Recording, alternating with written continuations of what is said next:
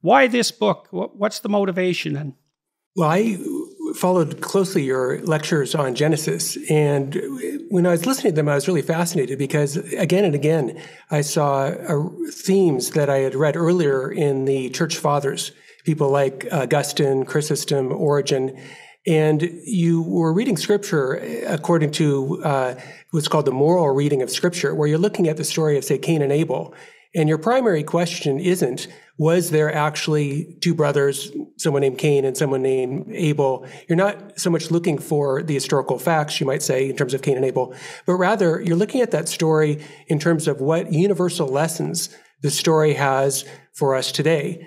And that moral reading of scripture is something that is very, very common in the Christian tradition of uh, biblical reading.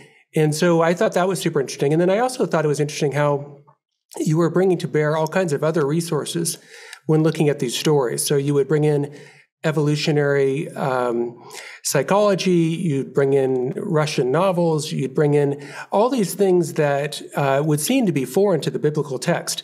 But in a way, that too was something that was very traditional. In other words, if you look at people like Augustine, he'll say that all truth is from God. And so bringing in any truth from any field is perfectly legitimate in his view in terms of trying to understand scripture because he thinks that God is the ultimate author of two books the book of Revelation, scripture, but also the book of creation. So everything in creation can help inform our understanding of scripture, and scripture can help inform understanding of creation.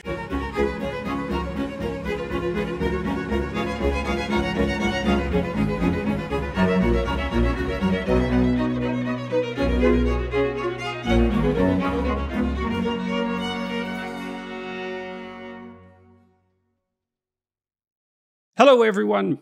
I'm pleased to have with me today Dr. Christopher Kaczor and Dr. Matthew Petrusek.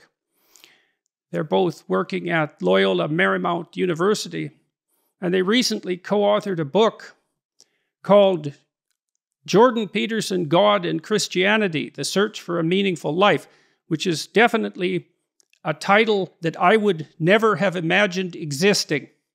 So I decided to talk to them today to see what sort of useful discussion we might have about that book, uh, but about Christian issues more broadly, religious issues more broadly, cultural issues. Um, Dr. Kaczor is a professor of philosophy and a fellow of the Word on Fire Institute, which we'll discuss a little later. He graduated from the honors program of Boston College and earned his PhD four years later from the University of Notre Dame. He was a Fulbright scholar who did postdoctoral work as an Alexander von Humboldt German Chancellor Fellow at the University of Cologne. He was appointed, he was appointed a corresponding me- member of the Pontifical Academy for Life of Vatican City and William E. Simon Visiting Fellow in the James Madison Program at Princeton University.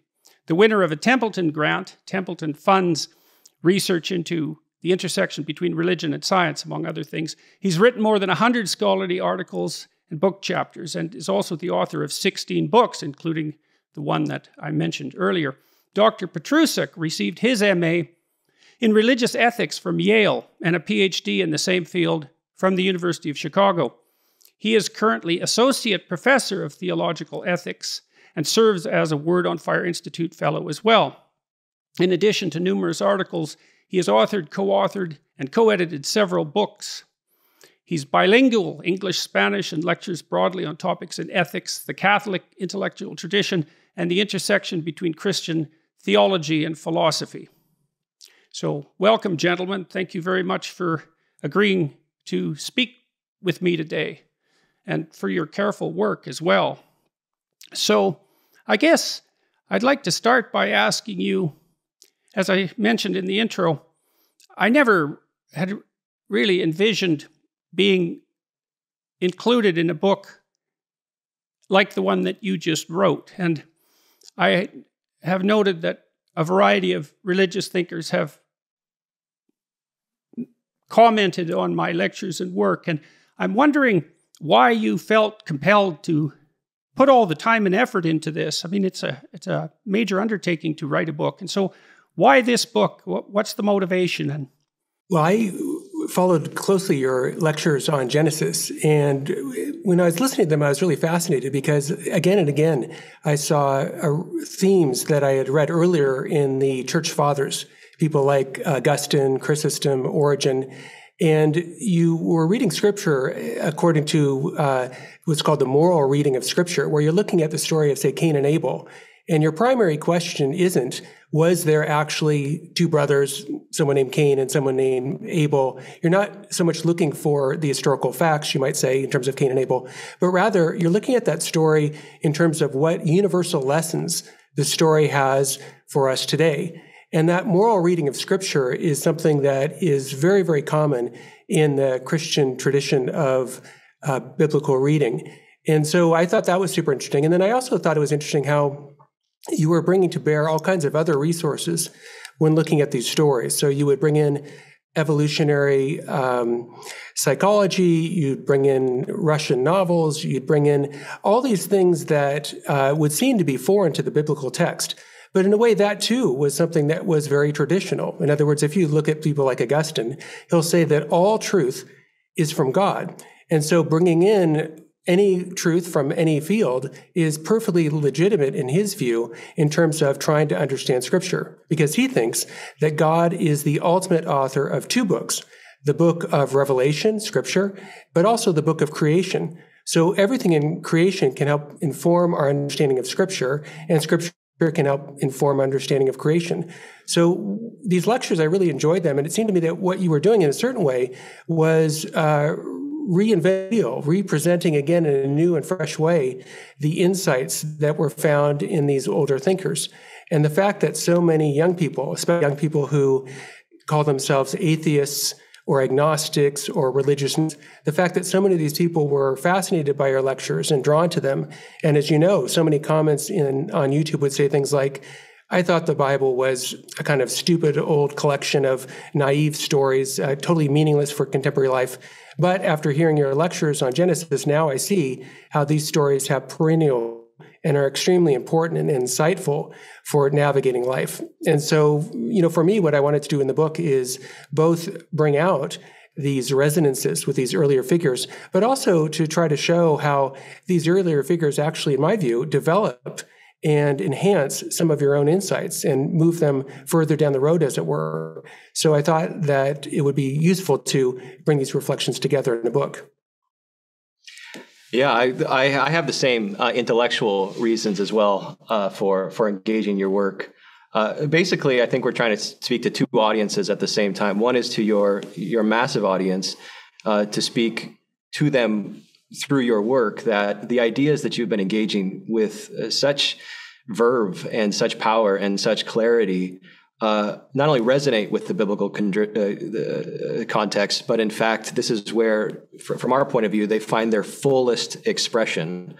Uh, and so, to that audience, we want to see look a, a little bit deeper, look a little bit broader. Um, we're also speaking, though, to to Christian audiences as well to see. Look at the work that Jordan Peterson is doing. Perhaps he doesn't see it this way, but he's a serious theologian, and he's opening pathways and opening modes of communication uh, that can help us more clearly communicate some of these uh, biblical truths as well.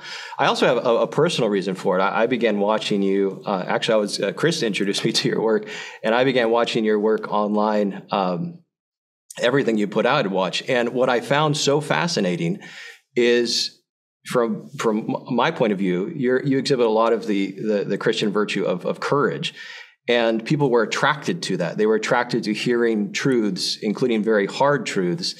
And I thought I wanted I want to dig deeper to see what what this phenomena, what's been called the Jordan Peterson phenomena, really is. Yeah, that it. This is a strange thing for me. There's the the the popularity of those biblical lectures. I mean, it came as a shock.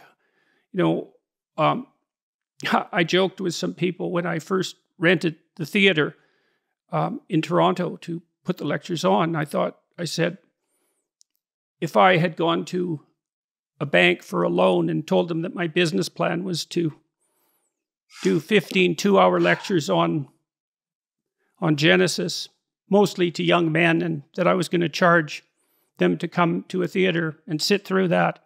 Um, they would have laughed me out of there because it's such a preposterous proposition.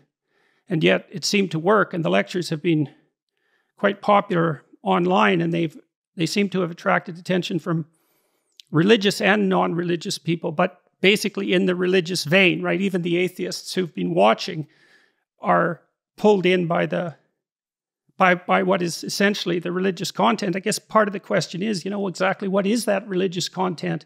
That's something we could we could talk about in depth. I mean, the fact that my thinking is influenced by these church fathers, the church fathers and other historical figures that you discuss, I guess I get that secondhand in some sense, right? And probably primarily through Jung, Carl Jung.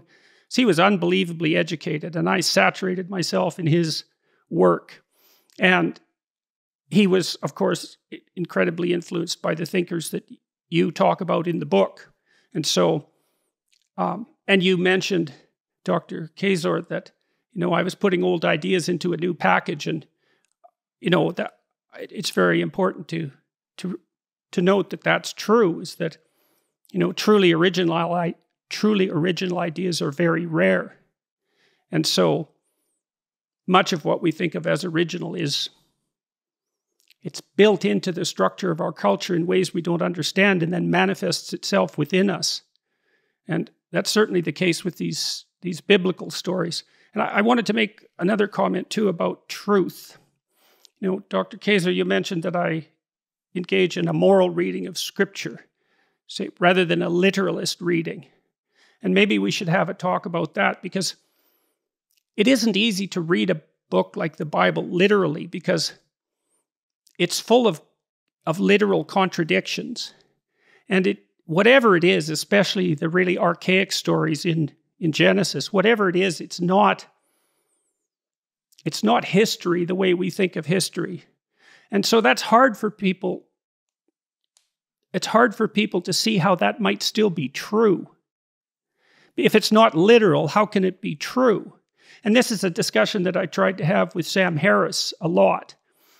Because the atheist types, the rationalist types, there's something they miss. And what they miss is that fiction isn't false, it's not a lie, right? It's not literal, but it's not a lie. And great fiction is true, but it never happened. So, how can it be true? And the answer to that is something like well, there are patterns in things, deep patterns, deep recurring patterns. You know, human nature, the fact that we're human, that, that the humanity itself is a recurring pattern. It has characteristic shape. And great fiction describes the shape of that pattern. And the greatest of fiction, the greater fiction becomes, the more it is religious in nature. And that's not even a a claim about the nature of truth. It's more a claim about the nature of experience. You know, when we say something is profound, what we mean is that it's moving and that it has a broad influence. It's capable of having a broad influence on the way we think and see and act. So if you read a profound book, like one of Dostoevsky's books, you could say of that book, and people often do, that it changed my life when I read that book. And a story that can change your life has a power that is best described as religious. And so, religious is a kind of experience in some sense, rather, in addition to a claim about what constitutes truth.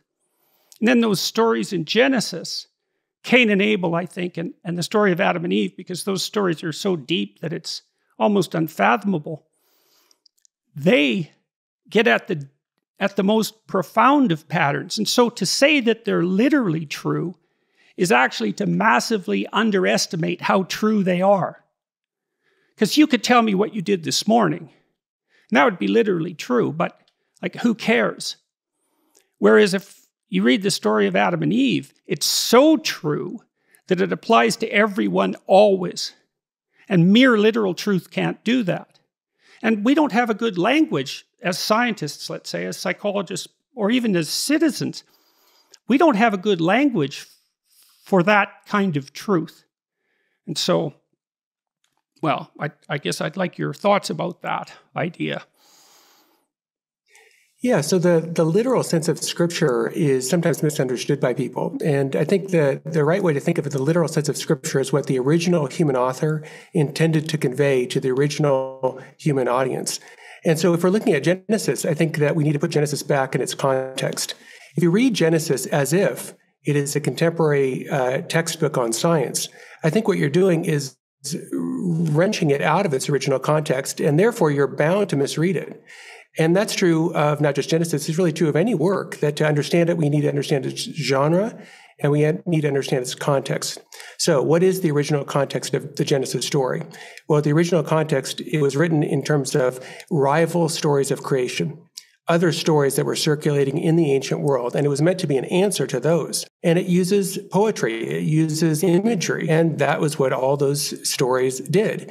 And the poetry and the imagery, I would not set that against truth, as if on the one hand you have truth, and the other hand you have poetry, imagery, and story. I think that one kind of truth is scientific truth, the empirically verifiable, but I think it's too narrow to say, well, the only kind of truth is the empirically verifiable. I think truth actually is broader. And in fact, that claim that the only that the truth is empirically verifiable, that's the only kind of truth, that is itself a self-defeating statement, right? There's no empirical evidence that that the only way to get the truth is through the empirical method. So if we put Genesis back in its context, what do we see? Well, we see it is a story telling us about, in contrast to the other stories, the other stories in the ancient world were stories in which there were multiple gods.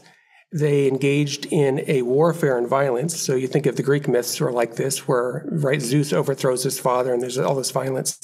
And Genesis is meant to answer um, these other ancient myths. And it's saying things like there's only one God, there's not multiple. Secondly, that creation is not a matter of violence, but that the creation is reasonable speech. And this was something that you talked about in your lecture, which really struck me because I obviously had read that story before, but I never really thought of it that, well, creation arrives, right? God says, let there be light, and there was light.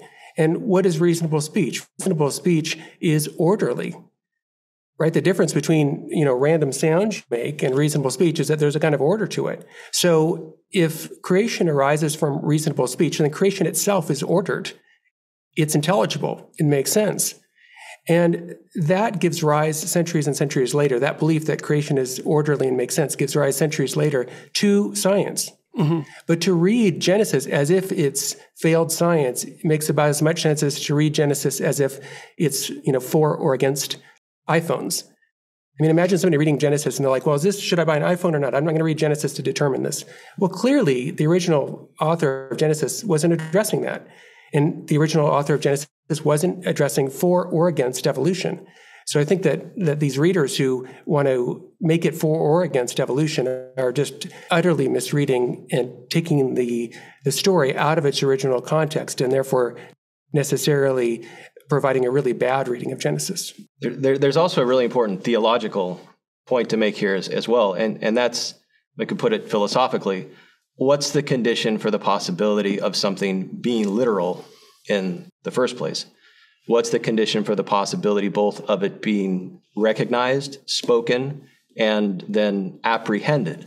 There's a certain kind of orderliness that's necessarily presupposed in the act of knowing and in the act of communicating that knowledge that itself, as Chris said, can't be empirically verified.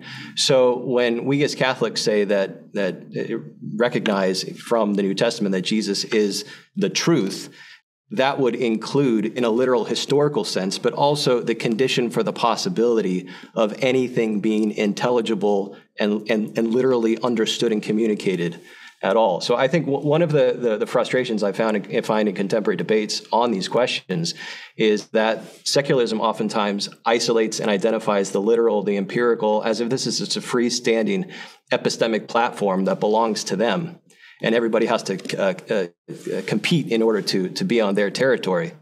And I just don't think that's philosophically the case. It presupposes a lot of things that that they can't give an account for. Yeah, I mean, so so one more little. Yep, please go ahead. No, I just was just going to add one thing. So imagine somebody was reading uh, Shakespeare's Sonnet 18, right? Shall I compare thee to a summer's day? Thou art more lovely and more temperate. Rough winds do shake the darling buds of May. And summer's lease hath all too short a date. So imagine somebody reads that and they're like, okay, Shakespeare's uh, a, a, meteorologist. He's a weatherman. And I'm going to look up in the almanac to see if May had rough winds. And that turns out there's no rough winds in May. Oh, Shakespeare you're about it, at, you know, telling us about the weather. Well, I think that's a obviously radically radical misunderstanding of Shakespeare. He's not trying to tell us the weather and then failing to tell us the weather. And so I think Genesis is not trying and failing to give us scientific truths. It's just doing something totally different. And that's part of the reason yes. I appreciated your lectures is that you highlighted the reality that the author of Genesis is trying not to is trying to communicate very important truths, but not truths that are in the uh, scientific um, discourse. They're true, but not scientific truths. The problem with the empirical approach, the problem with totalizing it is that the empirical approach tends to be mostly descriptions of things and the way they interact and the way they can be manipulated and and that's fine but doesn't tell you doesn't provide any real insight into how to live how to act how to take your next step how to how to produce a hierarchy of values and how to determine what's most important and what's least important. And all of that is also so difficult that we actually don't know how to do it completely explicitly, which is why we need poetry and drama and literature. We need that whole domain. So we could call that the literary domain. And then I think you could consider it this might be an empirical proposition is that the religious domain is at the base of the literary domain. And as literature gets deeper, it becomes more and more like religious writing. And so that by definition, in some sense, and I've swiped this in part, I would say, from Jung, is almost by definition that the sense of profound engagement that the most profound literature produces is what constitutes the religious. And that's a domain of experience. You know, when you're captivated in a movie theater, when you're captivated by a story, when you're taken outside yourself, none of that has anything to do with logical argumentation. It's a whole different issue. And it, to me, it's tied very, very deeply to our ability to imitate and mimic. And so we're really good at that, way better than any other animal. We mi- like language is mimicry. We use the same words. And so we're mimicking each other. And but I can't mimic every person separately. I have to extract out from each person some essence of being that's admirable. And I do that person after person, and I try to imitate that. And then that core thing that's admirable that I imitate, that's, as far as I'm concerned, that's psychologically equivalent to Christ. Whatever else Christ is, Christ is that's why he's sometimes described as the king of kings. It's like if the king is the thing that's at the top of the hierarchy, and then you look at all hierarchies and you take the thing that's at the top of all hierarchies of value, then that figure, when you see reflections of that figure anywhere, it produces awe and respect. And that's because that pattern constitutes the appropriate way to act, just as when you see the opposite of that pattern, which might be in its most fundamental essence satanic or demonic. It's something that's ultimately evil that produces revulsion and terror. And that's that's all instinctual. It's it's not in the domain of rationality precisely. It's way, way deeper than that.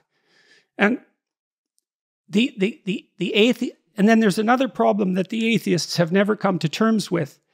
I I believe, and you guys tell me what you think of this, is that if if what is rendered, if, if what is properly rendered unto God is rendered unto Caesar, then Caesar becomes inflated to God. And when that happens, all hell breaks loose. That's the genesis of totalitarianism. That's subservience to an idol. And so, and this is a case I think the church needs to make, particularly the Catholic Church, in the most strenuous of ways, is that if we don't segregate off the religious instinct and give it its proper attention and due, which I suppose you do in part with ritual and church attendance and so forth, then every single thing we do starts to become inappropriately contaminated with religious longing. And that's why you see the rise of extremely powerful political ideologies and the division of people, you know, for trivial reasons into moral camps. It's that that religious instinct isn't hasn't got a grounding in it. It's searching for something to attach itself to, and it it picks up second-rate substitutes. You know, they people like Dawkins, they seem to think that if we all just abandoned our religious superstitions, we'd all become, you know, rationalists like, well, like like Isaac Newton, who was an alchemist and not a rationalist, by the way, that great genius. And so, one of the things I think that the Catholic Church in particular isn't doing a very good job of is warning people how dangerous it is to lose the proper theater of expression for our religious instincts. They don't go away. They just get perverted and and they show up all sorts of places they shouldn't. That's that's terrible. That's not good. So, so Yeah, that, that theme is one that Augustine talks about in the City of God. He talks about two loves, and he talks about the love of God, and it creates a certain uh, city, a certain organization. And if you don't love God, if God is not your ultimate love, well, you're going to love something. So it could be power, it could be pleasure, it could be money, it could be status. But Augustine thought that if you love, say, power the most, well, what that's going to do is it's going to shape you and ultimately distort not only you, but also your relationships in your society. So the Christian view is that ultimately God is perfect truth, love, and beauty. And so not only is it the case that worshiping anything other than that is going to uh, fail to give God what's due to God, and that's what religion in a sense is about. It's a, a binding of oneself to God, giving to God what's due. But also it ends up making the person ultimately unhappy. So you can think about this even from a psychological perspective that um, people like Martin Seligman would say things like, um, love is at the core of human flourishing. And, and if we don't have that, if I love money or power uh, more than I love God and more than I love my friends and more than I love my family, well, that's going to deprive me of the source of my, uh, my flourishing. I'm going to end up harming myself. And characteristically also harming others when I love power or money or whatever uh, too much. And so, yeah, for Augustine at least, this is um, a perennial temptation to replace God with something else. That's perhaps the warning at the end of Genesis with the story of Noah and also the story of the Tower of Babel. You know, because the Tower of Babel is people get together and they try to build an edifice that that's absolute in some sense, right? It's it it's a, a building that's that's under the control. It's an edifice that's of human manufacture, and it it becomes larger and larger and larger, and, and then it devolves into a kind of chaos. And so, with the flood story, with Noah and the flood, that's that's one form of danger emerges as a consequence of deviation from the proper path, let's say orientation towards whatever the highest good is. And the Tower of Babel is a secondary one that has more to do with the danger of, of egotistical human construction. And it is something like the worship of these idols. So imagine, we can think about this technically and psychologically in some sense, is that in order to act, you have to presume that that to which you're moving is more important than where you are, right? So you make a value judgment moving in this direction is appropriate. And then you have to move in a lot of directions over the course of your life. And and you know, maybe you search for for friendship and you search for love and you search for money and you search for power and and so forth. And if there's nothing integrating all that, then you're pulled in all sorts of directions, right? It's like devils pulling you apart because you don't know what's more important than than than what, and that's very very confusing and off-putting. And if the wrong thing takes control, then you get demented and bent. And so what you see in Christianity is this, this struggle over thousands of years to specify the thing that should be at the top of the hierarchy. And one of the things that really opened my eyes to the depth of these works was this strange proclamation that the word that existed at the beginning of the time of time that brought creation into being was the same as Christ, which is an unbelievably bizarre proposition. I mean, and I'm not speaking about it precisely religiously, I'm thinking about it more conceptually. It's like people who had that revelation or intuition are making the presupposition that there's something about the emergence of reality into conscious being, like because reality without consciousness doesn't really seem to exist, right? So when we talk about reality, we always presuppose a conscious viewer, and that the conscious viewer that makes order out of chaos is most appropriately the perfect being that's manifested in the figure of Christ. An, and so that we participate in that process in some sense to the degree that we're attempting to embody that mode of being. So I, I know that's you know that's going out there in some sense, but it struck me as such a brilliant idea that it was hard to account for. I don't know if I've made myself clear with that. Well, I, I think it, it, it, cuts in many different ways at the same time, but it also cuts directly to the, the previous question that you asked about the, the right domain of religious expression. And in a sense, it's, it solves that problem. Why? Well, if Jesus Christ is the logos. On the one hand, there means that means that there is a logos, there is a truth, there is a way of existence that is real, which gives us a standard to be able to identify false ways of being, both individually but also important politically. So it, it establishes a groundwork for there to be an intrinsic limiting principle, politically speaking and morally speaking, to life, and that is there is a truth of the matter. And if you're not living according to the truth, you're, you're deviating from it. So that establishes a kind of, of, of ground and ceiling for the proper expression of, of what it means to live morally individually and also political power as well. You only have right political power insofar as it conforms to the truth. But the Logos is also Christ. That means Christ is also uh, the, the person, the historical person that as, as Catholics we believe is, is literally, literally real and, and literally raised from the dead. And that shows that the political life is not the sum totality of life. The moral life isn't even the sum totality of life. The sum totality of life is love in relationship with God who has made himself incarnate. So, on the one hand, you have the foundation of truth to, to structure and limit human life, and then its ultimate transcendent telos or, or purpose. Dr. Kaczor, you got some comments about that? I did. I wanted to circle back to you said, if I heard you correctly, that reality doesn't exist without consciousness. And I think that's true if if God exists. But then if God doesn't exist, then it's not true. So human beings, of course, haven't been on planet Earth since the beginning of the universe. The universe is about 13.8 billion years old. So say 12 billion years ago, there were no human beings at all. And presumably there was no consciousness at all. So there was reality. There were the beginning of stars and things like that. But there was no conscious beings anywhere that that you know was able to understand that, unless God exists. Now, if God exists, and if it's true that God um, is the the logos, well, then you would say from all eternity.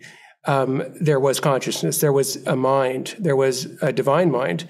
And so, and, and on that view, there actually would be an ultimate unity, you might say, in terms of the divine essence and the divine mind ultimately being one. So consciousness and existence have this fundamental ground in in God. But if God doesn't exist, then I think what you said would not be true because again, 12 billion years ago there's no human beings around, presumably unless there are aliens, there's no one around to be conscious.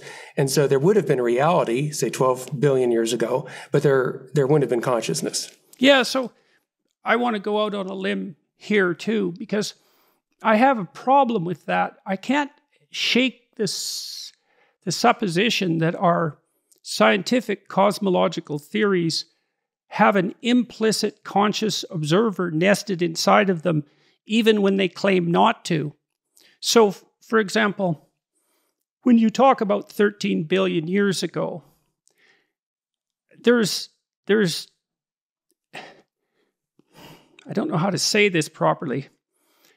This, the, the, the concept of 13 billion years seems to me to require a conscious observer to formulate to begin with, because I don't understand what duration consists of in the absence of something experiencing duration.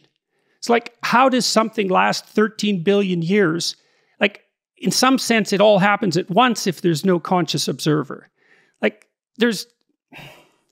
I, I, I, well, it would depend.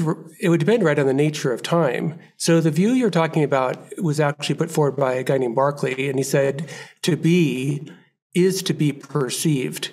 So, in other words, if you don't have a perceiver, there just wouldn't be any being at all. But I don't think that that is that's right. I mean, I think you're right that the idea or the concept, the human concept of time, obviously that can't exist without human beings.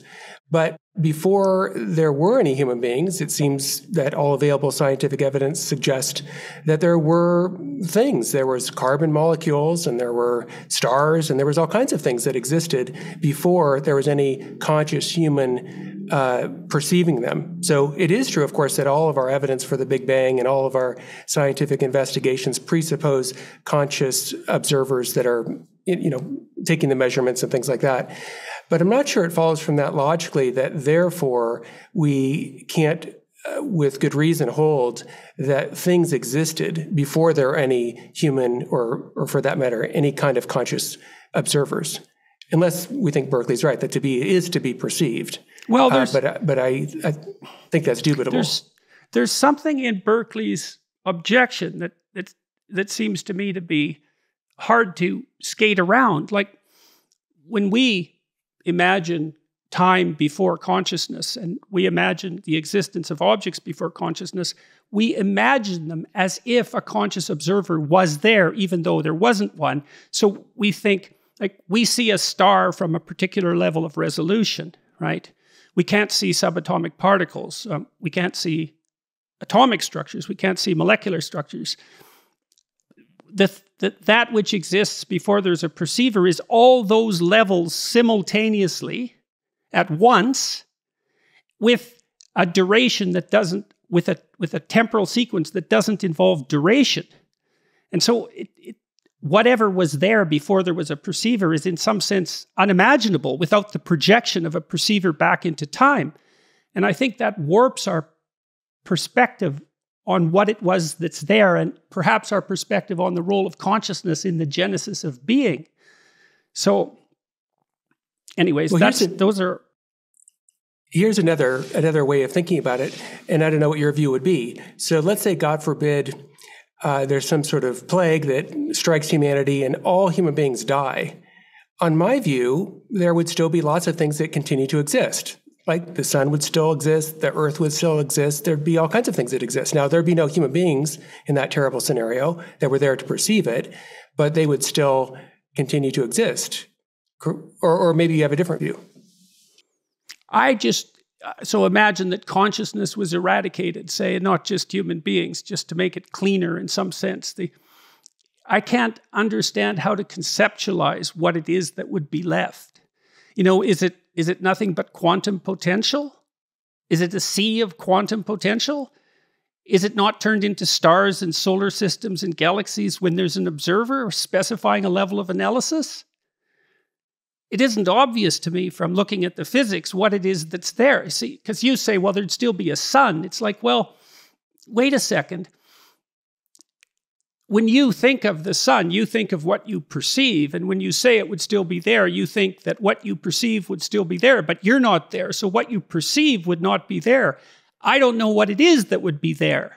You could say it's as if the sun is still there, but but the, the level of analysis problem and, and the fact of the strange constituent uh, reality of matter at the at the quantum level makes it very difficult for me to conceive of a universe that's just the same as it is now, except there's no conscious observer. It doesn't make sense to me. It, it, if I may briefly, it seems to me that there's there perhaps some equivocation in, in, the, in the use of the word existence here. Um, because existence is, of course, tied up with duration, uh, understood from our own perception of it. But that doesn't necessarily mean that duration is the is either a necessary uh, condition for existence or uh, or the most important condition. So we can think of existence uh, in terms of, of, of other potential qualities that it has unity, following a, a, kind of pattern. And in in that sense, it seems to me the more more important question isn't what would existence be like if there were no observers, but would there be existence? And I think it's it's logically possible, metaphysically, perhaps even necessary to say that there there would be existence, but that doesn't mean that we would be able to describe it. Yeah. So I think I'm going to disagree with you now. Um, I, I'm not sure there would be if there was no if there were no perceivers at all, um, including God. Then I don't think there could be other existing things. Well, I, I was mean human perceivers. Oh, okay. I was limiting okay. to that. Yeah, because if because if Aquinas is right, there there couldn't be anything at all right, right, in existence right. if God wasn't the ultimate first cause of all these things. And so if God didn't exist at all, that would mean that there there couldn't be anything else. If, if he's right about this whole argument, um, and I think he is right. So um, so there is ultimately a uh, mind perceiving all created reality, the divine mind, but I don't think there needs to be human minds, or for that matter, if there, you know, if we talk about angels, I don't think there need to be angelic minds for there to be existing right. things. Yeah, well, I, I, guess I'm I'm I'm stuck on this for for reasons that I think are somewhat scientific in in their nature. My inability to conceptualize what it is that would be if there was no point of reference, because everything is all things at once in some sense without a limited without a delimited observer. And so i don't know what it is for there to be something when everything is everything at once. There's no differentiation as a consequence of a limited observer. So but we, we can we can leave that that part of the argument. I'm, I'm pushing this at least in some part because i i i have also seen I would say, on the part of the more dedicated modern atheists, this necessity to devalue consciousness because consciousness seems to be it's a mystery let's put it that way and it's it's an unexplained mystery and it's given such pronounced status in the biblical writings it's part of what gives human beings dignity is the fact that we share this logos consciousness that's integrally tied up with the structure of reality as such. And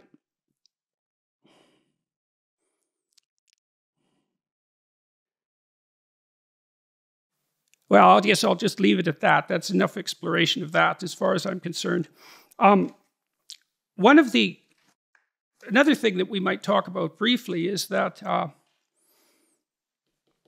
there's also a tendency in the modern culture, as we move away from our religious heritage, as fewer and few, fewer people go to church, let's say, and are even familiar with the traditional church writings, to swallow this story that science and religion have been at odds with one another throughout the course of history. And Dr. Petrusek, you made a case earlier in this discussion, I believe it was you, that the proposition that the world was ordered by something that was akin to a comprehensible intelligence or an intelligence or a consciousness that we could have a relationship with was the deep felt sense that we could understand things if we investigated them. And that means that the religious proposition of an orderly, comprehensible world amenable to the investigations of consciousness was actually a precondition for the dawn of science. And that's what Nietzsche claimed. Nietzsche claimed that Christianity died at its own hands by emphasizing the, the uh, what would you say, the primary importance of truth. And so the, the exploration of truth, at least in part, developed into the empirical domain, and then the scientific worldview produced representations of being that seemed to contradict the traditional representations. And because our minds had been trained to value truth to such a great degree, at least in part as a consequence of our religious education, we were forced by logical consistency, in some sense, to experience this existential crisis that the apparent opposition between the empirical and the religious has put us into. So that's a different reading of the relationship between science and religion. It means it's a problem we have to solve instead of a battle between two opponents, one of whom has to win and the other whom has to lose. Yeah, well, that, that completely uh, contradicts the, certainly the, the Catholic understanding of the relationship between science and, and religion. There's a historical question here, which is how did science emerge into its current form?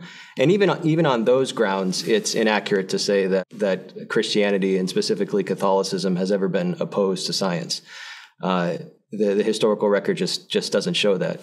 Then there's a, a, conceptual and philosophical question of, again, using the, the philosophical language what's the condition for the possibility of there being a empirical investigation insofar as it's it's cognitively and epistemically possible and then the motivational question of why in the world would you carry it out?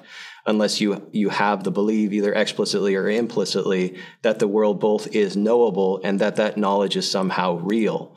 That presupposes mm-hmm, not only mm-hmm. any generic metaphysics but i would i would say a specifically christian metaphysic in particular so it's it's a meme, I would say, that science and religion are somehow opposed, but it's it's it's a false one. The idea that science and religion are opposed uh, arose really in the 19th century. There was a guy named Draper, and he wrote a book that, that basically put forward this thesis. And and before that, the thesis wasn't held, and, and there's no real good historical grounds for for holding that. So if you look at many of the uh, prominent scientists in the history of science, many of them were faithful, believing people. I mean, Newton uh, was a faithful Protestant. You have people like Descartes, a Catholic. You have Blaise Pascal, a great mathematician. You have uh, Gregor, um, uh, Mendel. You have um, Georges Lemaitre in the 20th century, who was one of the founders of Big Bang cosmology. So all the way from the beginning of science to today, you have prominent people of faith that are that are scientists. Even right now, I think the head of the what is it? The head of the National Institute for Health, I think uh, Francis, uh, I forget his name, but anyway, he's a, pro- a prominent believer. Uh, and the church as an institution also supported science. So the cathedrals were designed in the 17th century to serve also as solar observatories. Uh, Catholic universities all around the world have departments of science and promote scientific investigation for their students. The, the Pope has the Pontifical Academy for Science. He invites scientists from all over the world, scientists of uh, all different faiths and no faith, to come to the Vatican for these scientific meetings. So I think it's really quite unfair to say the church is opposed uh, to science. So faith and science are obviously not the same thing. There's people that are great at science that don't have faith. There are people that are great at faith and don't know much about science, but there are people that are kind of overlapping. And so I think it is really, yeah, a myth to think that the church is opposed to science. You know, I just have very, very briefly. It's not a biographical peculiarity that that these these great uh, people of science who are Catholics uh, they they didn't practice their their scientific craft in addition to believing in God and, and practicing Catholicism. They they did it precisely as Catholic, working from the the framework of, of faith and, and reason there, and that, that's always that's always been the case. So this let's let's delve into this faith issue a bit too. Because the faith is a very complicated term and you know it's often parodied by the rationalists, you know, to have faith in God is parodied as a like a primitive and superstitious belief. But my psychological investigations convinced me that there's no action without faith. Because we are always stepping into the unknown, we have to take a leap of faith to exist, to do the simplest of things, to, literally to move. And that has to do with what I said earlier is that we're trying to move from a place of less value to a place of more value. So we have to make some assumptions about what constitutes value. And then we have to believe that our actions are going to have the outcome that we desire. And we do that without evidence. I mean, that's partly why to be human is to be riven with anxiety. It's because there's no certainty. And so you can't act without faith. And so then the question might if you accept that proposition, you can't act without faith. And I actually believe, I don't believe that that's a disputable proposition unless you view people as deterministic in the way that clocks are, you know, so that we're just stimulus response machines. It seems to me that instead we're moving into the unknown. And we do that in dread, in some sense, dread and hope. And we do that because we have faith. And when we lose that faith, our lives fall apart. And, and we don't know which way is up or down. And so then the question is well, if we have to have faith, what is it that we should have faith in? And then the answer seems to be something like, well, we should have, if we have to make a decision about that, maybe we try to have faith in what, in, in the idea that the best should be pursued and will prevail as an organizing principle. And then the question is, well, what is the best? And the answer is, well, that's really hard question. And so we need cathedrals and we need Bach's music and we need the stories in Genesis and we need the world's great literature. And we need all of that theater and drama and art and aesthetics to help us understand what the best is and to determine how it should prevail. And I don't see that technically as any different from, I think it is the same thing psychologically as the worship of Christ. I think it's the same thing. Because, again, I'm trying to speak psychologically to think about what Christ represents. I'm not thinking about him as a historical figure. That's something we can get to later.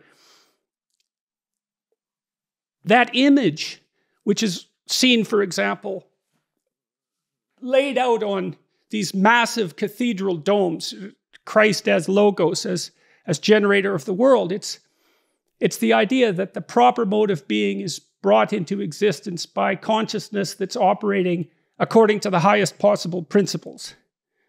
And like, why wouldn't, and that is the kind of faith that's maybe got some courage associated with it, right? I'm going to act as if this is the case.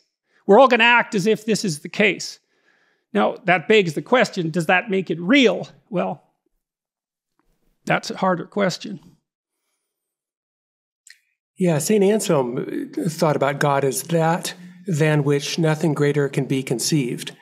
So he thought of God as the highest perfect good. And Aquinas, too, thought of God in a similar way as absolute perfection. And I would say that this kind of faith, though, can be reasonable.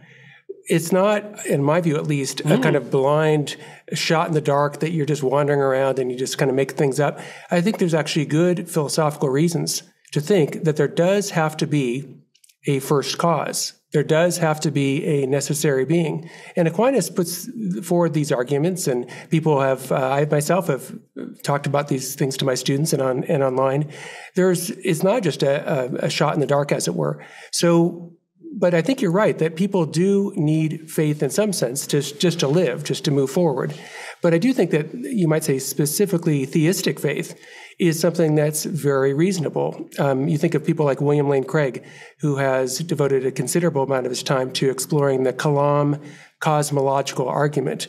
And I don't know if you're familiar with that argument, but it's it's quite simple. It just says that oh you're not so it says that whatever begins to exist has a cause.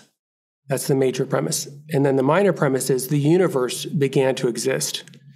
And therefore the universe has a cause. And by universe, what's meant in the argument is all time, all space, and all matter. And so if the universe has a cause that's prior to time, it must be something that is timeless, or you might say eternal. If the cause of the universe is the cause of all matter, it must be prior to matter. It must be immaterial. If the cause of the universe brought the whole universe into existence, obviously the cause of the universe has to be immensely powerful. And so you have, say, in the cosmological argument, uh, the Kalam cosmological argument, an argument, a reason to believe that God exists. And you know, we can talk w- about whether that argument works, but you also have other arguments like the fine tuning argument. And I read online that you were looking at the God hypothesis. And as you know from reading that book, there is a lot of very solid evidence that the universe is fine tuned.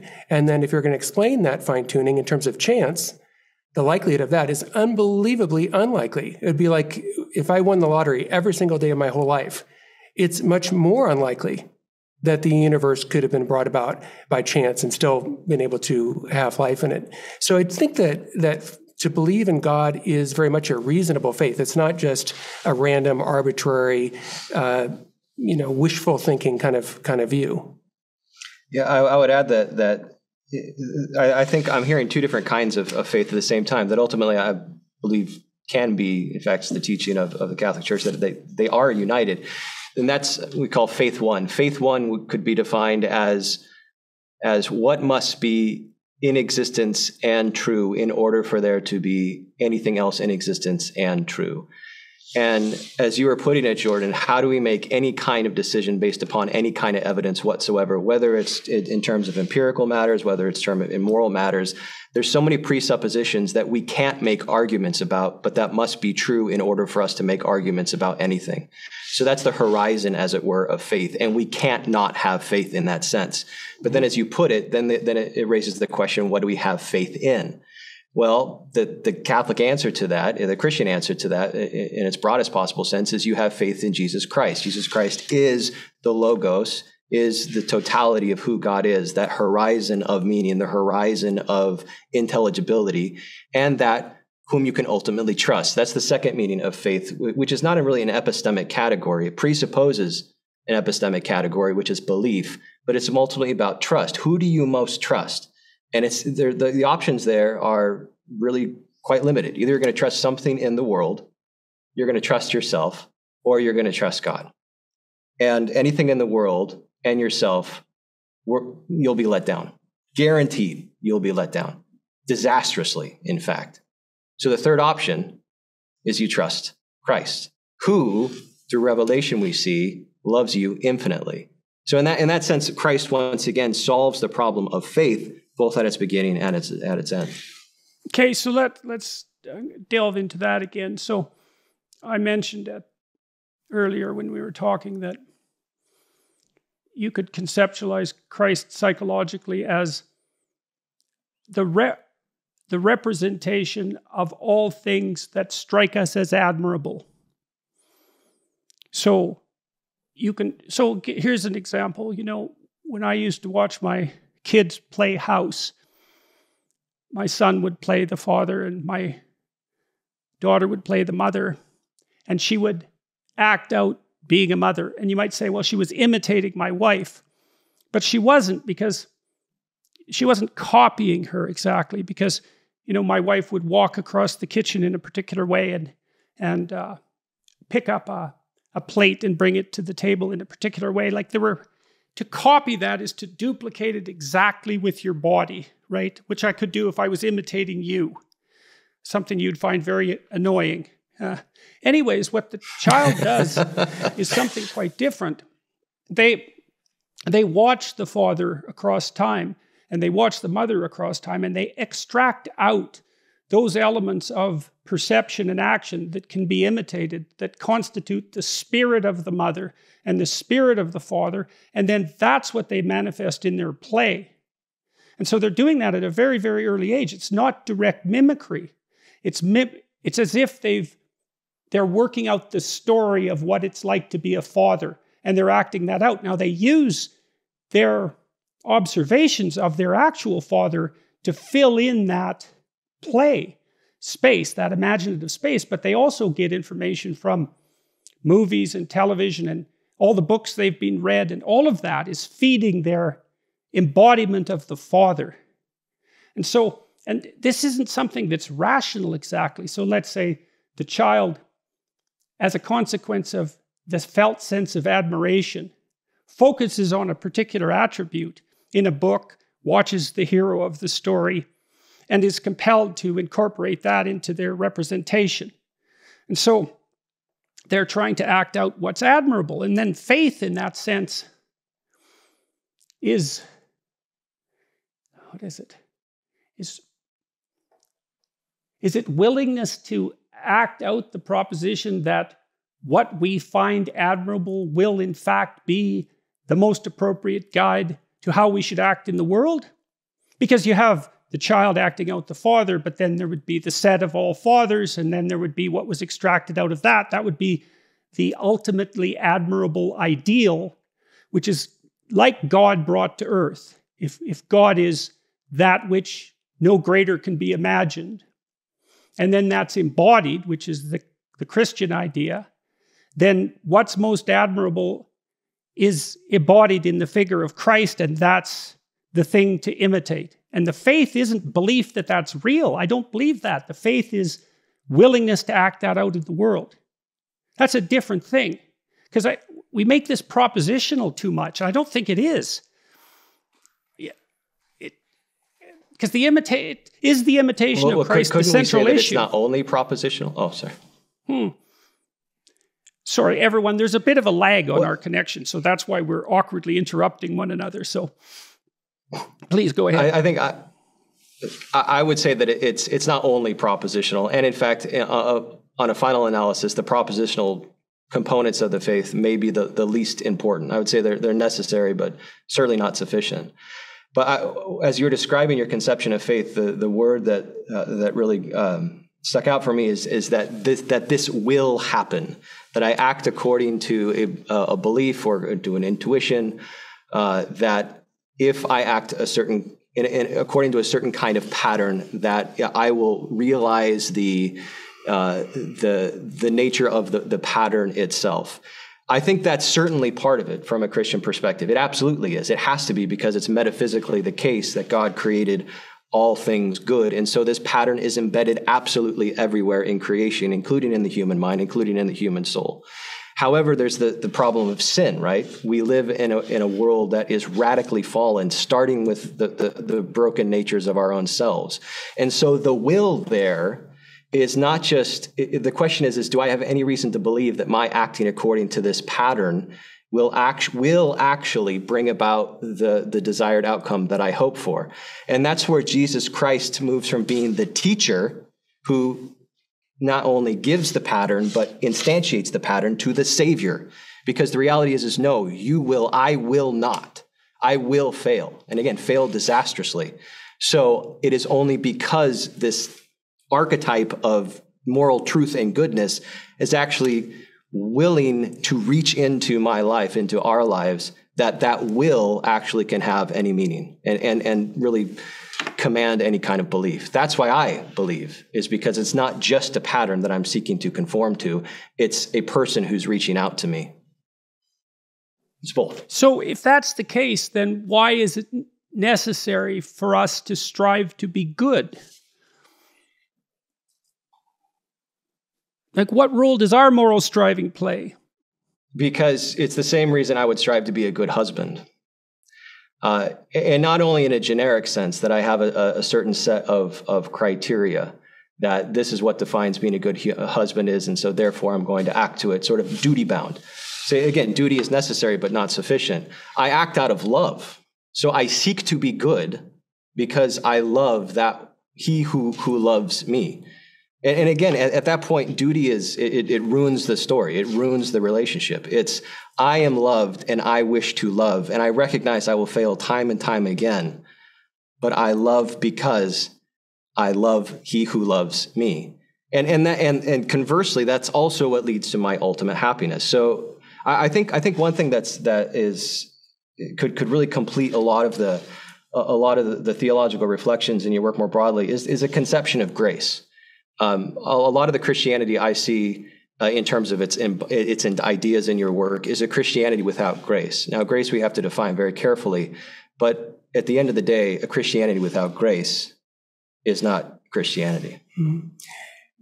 One distinction that might help our conversation is the distinction between a living faith and dead faith.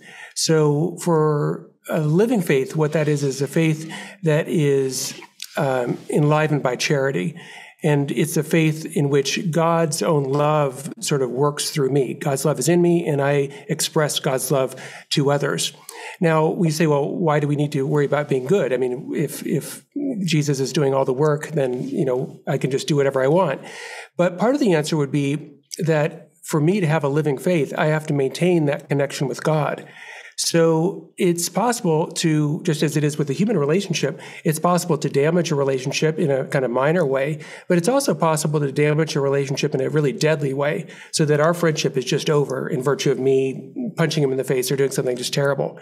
And the same thing would be true for God, that we have this relationship with God, or we can, but it's possible for us to so damage that relationship that we no longer have living faith. The best we could have is dead faith. I believe in a proposition that God exists, and you know maybe that informs me in certain ways, but basically I don't have a living faith at all. And so the the things I do can't be an expression ultimately of my union with God that spills over into loving other people. Because in the Catholic view, Jesus is the ultimate pattern, you might say, but the ultimate pattern is becomes part of our lives through us being united with him. So there's different metaphors used in scripture, like he's the vine and you are the branches, mm-hmm. and mm-hmm. uh, he is the head and you were part of his body. Uh, but another beautiful way of thinking about it, and I just ran across this in a book called Christ Alive in Me by this Jesuit priest, Father David Meconi. And it was a great kind of analogy. And it, he said, Imagine as if God is a sort of burning furnace, and then you're like the hot iron that's put in this furnace and kind of heated up. Well, the, the heat and the light from that fire gets into the iron and you take it out of the fire and it's still like lit up and it's still super hot because the heat has kind of gotten inside. And so in the Christian view, we are in this relationship and we want to, as it were, let God inside. And then hopefully God remains in us. We don't kick God out. I mean, God wouldn't leave of his own accord, but we can kick him out through serious, serious wrongdoing. But hopefully that light and that fire makes us more alive and makes us able to give some of that light and that fire to other people who are in need, other people that need God's mercy and they, they need God's help. So it's not just a teacher student kind of relationship that I that Jesus is a little bit like Socrates. I mean, I love Socrates. I love Aristotle. They are absolutely terrific. But the idea of Jesus is beyond just a good teacher, beyond just a good example, but that the life of Jesus would actually live in in you. And so this is called by different names. Sometimes it's called theosis, deification, sanctifying grace. These are all kind of different terms for the same idea. But the basic idea is that the heat and the light of God becomes part of you. And then hopefully you're able to make the world a better place and be a better husband, be a better father, be a better friend, be a better professor. You can do the things you do in a new way because you have this, this light and this heat within you. Uh, two two more questions, if you don't mind. Let's let's let's talk about the evolution issue. I mean, it looks to me like the story of creation in Genesis and the story of Adam and Eve is in large part a description of the role of consciousness in being. I mean, the idea that the, the beginning itself is associated with the dawn of light. It's it's like the experience of the day of the morning sun. It's that things spring into being, and so there's some allusion to consciousness itself there. And then the fall of Adam and Eve seems to involve something like the development of self consciousness, and so that's one way of conceptualizing creation and the human role in it and and maybe our fallen state to some degree as well as the corrupting influence of self-consciousness and the terror that it that it generates. It's it's difficult to square that account in some sense with theories of evolution. And i'm curious about how you two manage that. Like you're you're both I, and correct me if i'm wrong but you both accept the broad outlines of modern cosmology and evolutionary theory. And so, how do you see the Christian narrative? How do you see it in, in, in, in juxtaposition with that? I mean, that was certainly a problem for Darwin. I mean, it, it just about drove him out of his mind. So, so in the Catholic tradition, there is a long history of reading Genesis uh, in a way that's sensitive to its context. So there are some readers like Saint Ansa, I mean Saint uh, Ambrose, who did hold, for instance, that the seven days of creation were seven 24-hour periods. But most Catholic interpreters, Augustine, Thomas Aquinas, John Paul II, Pope Francis don't interpret it in that sort of way. So I think Genesis is teaching us very, very important truths, but it's not teaching us about contemporary science. So I would say it's not for or against evolution. It's just not trying to, to do contemporary science. So what is it trying to do? Well, it's trying to teach us important truths. And you have in your lectures explored a number of those uh, important truths. But, but here's another uh, truth that at least I think is quite significant in terms of uh, the Genesis story. If we take the Genesis story as a uh, poetic and uh, imagery filled kind of narrative, one of the points I think is that all human beings ultimately are part of one human family. That is to say, everyone on planet Earth I should treat as if they are distantly a brother or sister of mine. And if you look at some of the other rival stories of creation, if you look at, for instance, uh, Plato's Symposium, he has a story there that is spoken by Aristophanes. And Aristophanes in that story says, well, human beings arose from three different sources. Some arose from the sun, some arose from the moon, some arose from the earth. And so we all come from these different places. And on that, on that view, right, ultimately other human beings are literally could be from a different planet. And so, you know, there's ethical consequences for that. If we really took seriously the idea that all human beings are part of one human family, that is, I think, a revolutionary idea. And centuries and centuries later, that idea was developed into this idea that we still have of human rights. Right? The idea of human rights is that every single human being, regardless of race, religion, age, it doesn't matter, all human beings deserve fundamental respect. In other words, you might say all human beings are part of one human family. We're all equal in dignity, and so we should be respected. So I think Genesis is teaching us incredibly important truths, like that truth that we should respect all human beings as part of one human family. But I do think it's a misreading of Genesis to um, to look to, to Genesis as if it's a science textbook. Just like we wouldn't look to Genesis, you know, to again, I mentioned this earlier, we wouldn't look to Genesis to find answers about, well, should I buy an iPhone or should I buy an Android phone? Like that's just Genesis isn't trying to do that. It's not for or against iPhones. It's just not about iPhones. And so Genesis just isn't for or against evolution. It's it's it's just not talking about that kind of thing at all.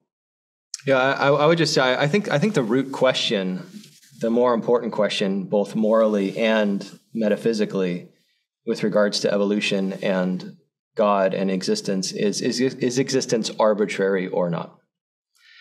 Uh, is life accidental or not? Is there any way in which we can identify that the symbols and patterns that we see in the world, both uh, empirically, scientifically, and bringing in some of your thought, Jordan, morally, are those ultimately our own creations, our own anxious creations, in order to try and cope with an existence that is neither here nor there? Uh, and and therefore just as arbitrary as anything else, or are they real? And I and I and I know the question of the real is uh, at the one hand the hardest question to answer, um, but on the other hand, it's the most important question to answer. That's the root question for me with regards to evolutionary theory.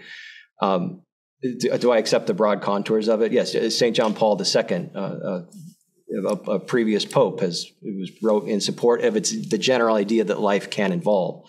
But the root question again is Does God exist and did God create the universe? How that happened, the mechanism by which that took place, is an incredibly important question for scientific analysis.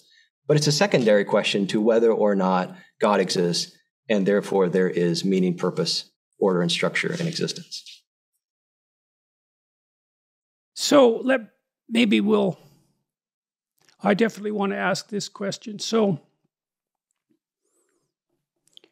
it's become increasingly difficult for the Catholic Church, perhaps in particular in the West, to attract young people. I don't think that's a statement that anyone would disagree with.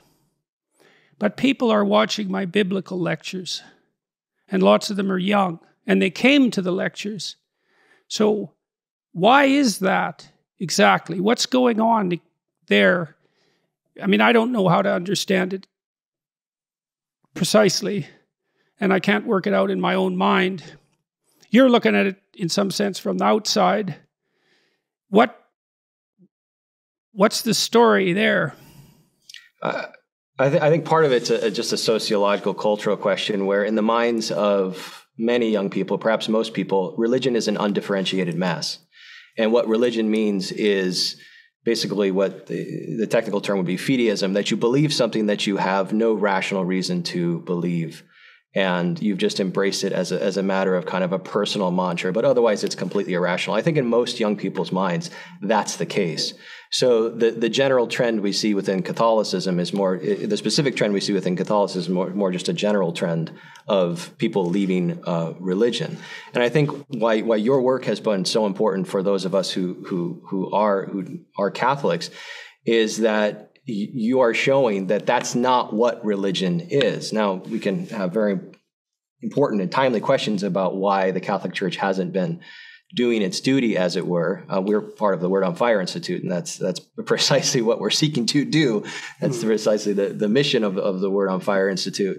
Um, but your work has reestablished that connection for millions of people who have a false idea one of religion generally, but two of, of Christianity and Catholicism in particular.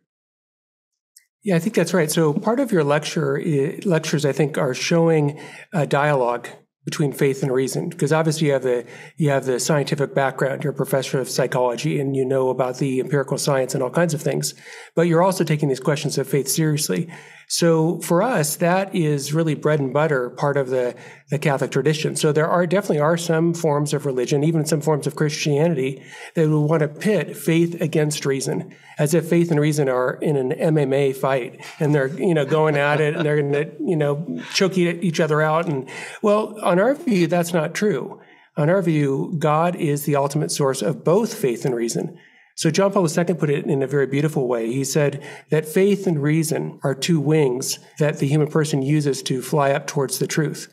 And so the idea is that there's a kind of harmony. They're different, right? Your left wing's not the same as your right wing. These are two different things, but they are not set at odds with each other. They're in harmony. So you see this sort of harmony in figures like Augustine, who wants to combine a kind of Platonic philosophy with a Christian wisdom. And then you find a different kind of synthesis in someone like Thomas Aquinas, who wants to combine an Aristotelian philosophy with a Christian wisdom. And then you find a similar sort of combining in many other figures in the Christian tradition, John Henry Newman, John Paul II, etc. And so I think, in a way, one way to interpret your work is as uh, another way of bringing together faith and reason in this in this conversation in this dialogue and it's certainly part of the work i try to do as a professor of philosophy I mean, some people say, oh, you're a professor of philosophy. You're supposed to be, you know, how could you be Catholic? And I think that question is nonsensical if you understand the Catholic view of faith and reason. Yeah. That faith and reason are not, on our view, uh, you know, opposed. They're working together. They're in harmony. Um, and part of the intellectual adventure, I think, is is talking about these questions and bringing these two sources into fruitful conversation. In a, in a very basic sense, faith cannot oppose reason. Because if God is and God is one, then any truth, whatever form formulation that truth is taking, it cannot be opposed to itself. This is a fundamental principle in the, in the thought of St. Thomas Aquinas. And so any statement that would be irrational, we as Catholics would reject. But faith is supra rational. And we talked about this earlier in the conversation, right? It, there's a sense in which there's a there's a there's an invisible but real foundation to reason itself, both logic and empirical observation, and then there's a destination for where it's headed. So in that sense, faith is, is never against reason, but it's the condition for the possibility and the purpose of reason. So part of it, you think, is is this demonstration of the coexistence and maybe the necessary coexistence or the optimal coexistence of faith and reason. But there's maybe there's another aspect too, a couple other aspects, and like maybe this might be a consequence of the empirical revolution in human thought, is that maybe the modern church has concentrated too much on emphasizing the propositional at the expense of the enacted. And, and I could see that happening a little bit in our conversation. You know, so uh, I, I'm trying to find places to stand that are really solid, and like the idea that we have an instinct to admire and that we can extract out the pattern of what's admirable and that we can then deify that. And assume a relationship between that and the ultimate ideal. That seems very solid to me. I, I, I, don't feel any internal disunity about those propositions. That's different, or about those suppositions, let's say. That's different than the claim that, you know, there was a God who exists outside of time and space and who created the universe. That, that's more like a set of statements that you need to believe, whereas the first set is a set of answers to questions that everybody has. You know, and, and, and maybe that's, see, I was trained as a behavioral psychologist. I was trained as a cognitive behavioral psychologist, but I concentrated more on the behavioral element, the how to help people change the way they act and to make that central. And I, I try to do that in my lectures. It's like, well, you know, everybody needs to know how to act. No one disputes that. The audience doesn't dispute that. And then figuring out how to act is a great mystery. And we all seem to be guided by our conscience, and we can't escape that conscience, even though we might like to. And we all seem to have some sense that some things are good and other things are evil. And so, what's good? And is that what we should pursue? And how is that represented? And like, those are all solid questions, and there are solid religious answers to them. But then there are these more abstract propositions that seem to make that people bounce off them and young people bounce off them because they're more like a set of they're like an insistence about what you must believe propositionally rather than answers to questions about how to walk through life given this the questions about life's mysteries that you all have in your head. And it's the latter that i'm trying to explore and address in the lectures you know and, and i think that's partly why people are find them acceptable. You know they don't just bounce off them and say well that's religious claptrap. I'm done with that you know and reject them the same way they do at least to some degree, you know, church attendance and I'm always I'm always exploring a mystery with the audience in my lectures, you know, and I'm not telling them what I believe. I'm not even telling them what I believe to be true because I'm always questioning what I believe. And the reason I keep insisting on this in, in this conversation is because it is really is something I'm trying to solve. It's like, what is the I do believe that we are in danger of making all sorts of things religious that shouldn't be, and that that's going to do our culture great damage. And that unless we put God back in God's place and Caesar back in Caesar's place, things are going to be grim. And I, the church, the classical church, the Catholic Church has to play a role in that. But it, it I, I don't see it.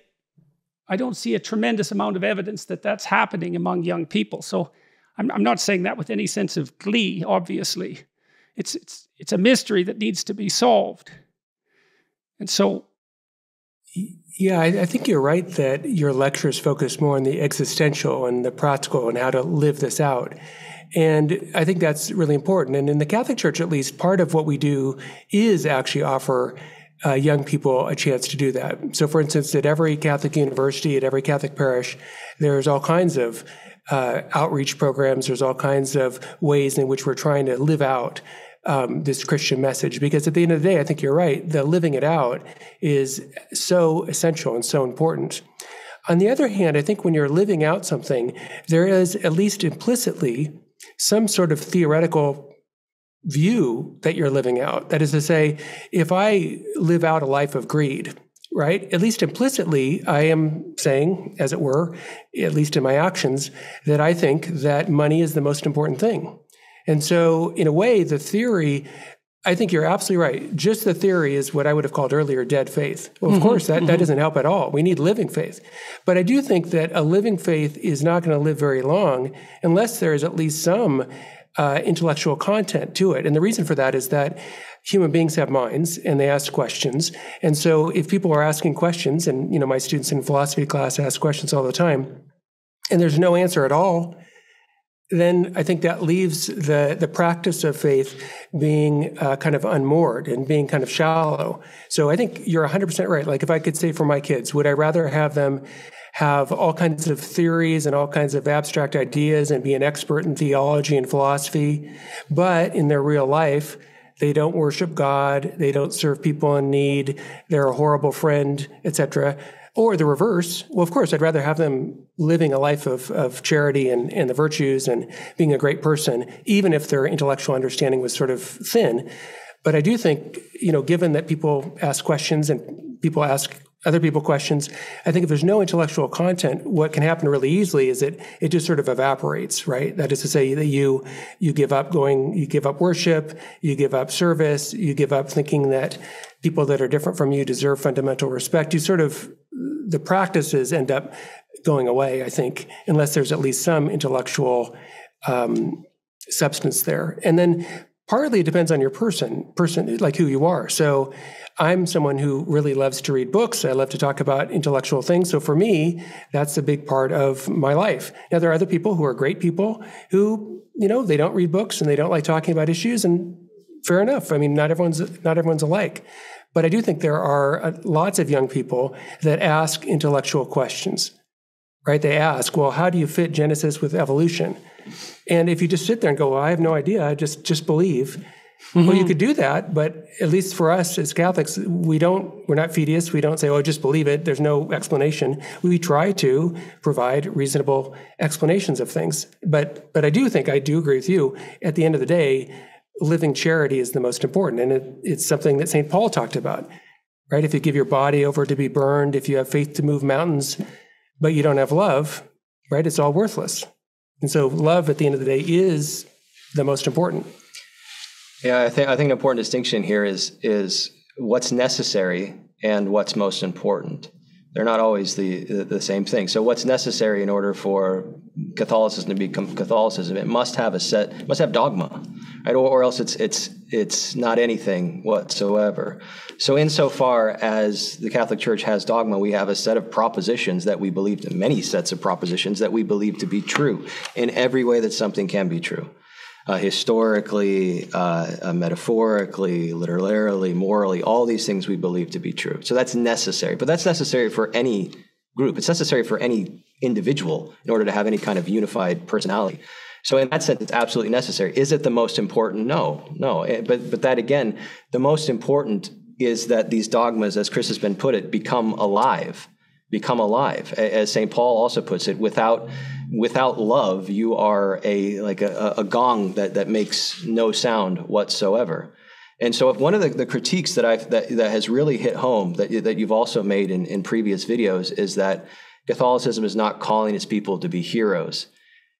That that that sticks with me. I think I think that's right. And we we have within our faith what's called the doctrine of the saints, which in a very basic sense just means that we believe that there are people just like us who have lived in a way that exhibits what it truly means to be a follower of Jesus Christ. And if you look at the different kinds of saints, what you will find is vastly different kinds of personalities, vastly different kinds of interests.